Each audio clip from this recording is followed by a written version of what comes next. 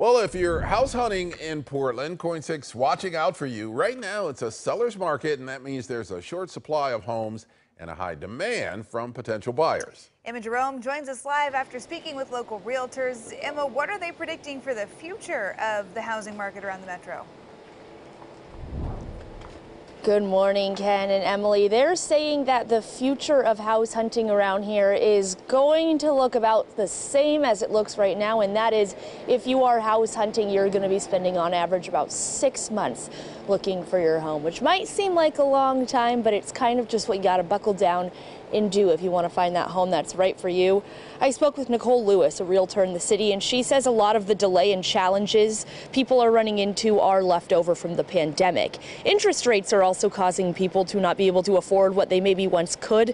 Compound these hikes with a poor economy, and she says that is building stress for families.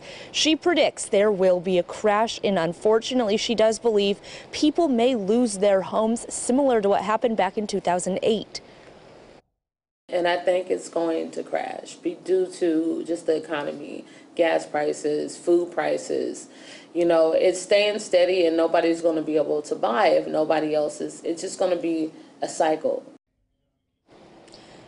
When this happens, she says it will become a buyer's market. There will be more houses available than people to purchase them. That's the exact opposite of what we're seeing now. And she says, as hard as it must seem right now to get a house, you just have to be patient. And she says, if you cannot afford to buy a house right now, just wait. Do not put yourself in any financial stress just because you're looking for a home right now. Reporting in Southeast Portland this morning, Emma Jerome, KOIN 6 News.